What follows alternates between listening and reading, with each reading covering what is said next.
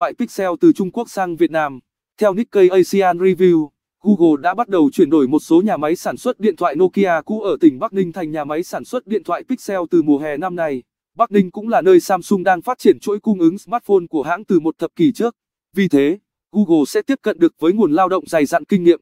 Việc đẩy mạnh cơ sở sản xuất tại Việt Nam cho thấy áp lực mà Google đang phải đối mặt với chi phí lao động tăng cao ở Trung Quốc, cùng với thuế quan do thương chiến Mỹ Trung.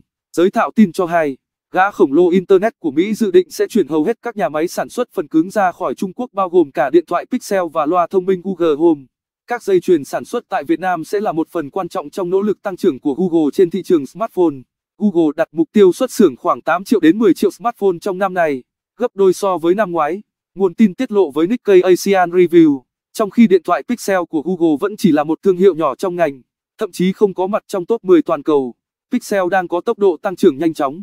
Được ra mắt hồi tháng 4 năm nay, Google Pixel có mức giá tầm trung đã trở thành thương hiệu smartphone đứng thứ 5 tại Mỹ trong quý 2 năm 2019. Pixel vẫn giành thêm được thị phần mặc dù ngành công nghiệp smartphone toàn cầu đang chậm lại. Việc đẩy mạnh phát triển phần cứng của Google có thể sẽ gây áp lực lên các nhà sản xuất di động hạng 2 như LG và Sony. Hai hãng đang gặp khó khăn khi ngành công nghiệp điện thoại di động suy thoái năm thứ ba liên tiếp. Bằng cách đa dạng hóa sản xuất tại Việt Nam, Google hy vọng sẽ đảm bảo việc sản xuất bền vững dành cho Pixel. Smartphone giúp Google giới thiệu những ưu việt của hệ điều hành Android. Hệ điều hành này hiện đang đối mặt với thách thức đến từ Huawei của Trung Quốc. Dù Android vẫn đang được 80% smartphone trên thế giới tin dùng, Huawei, nhà sản xuất smartphone lớn thứ hai thế giới, sau Samsung, đã tiết lộ hệ điều hành của riêng mình mang tên Harmony OS hồi tháng 8 vừa qua. Năm 2018, Google đã xuất xưởng khoảng 4,7 triệu smartphone, chỉ chiếm 0,3% thị phần toàn cầu. Tuy nhiên nửa đầu năm 2019, hãng này đã xuất xưởng 4,1 triệu chiếc. Sự tăng trưởng mạnh mẽ này nhờ điện thoại Pixel 3a có giá mềm 399 đô la Mỹ.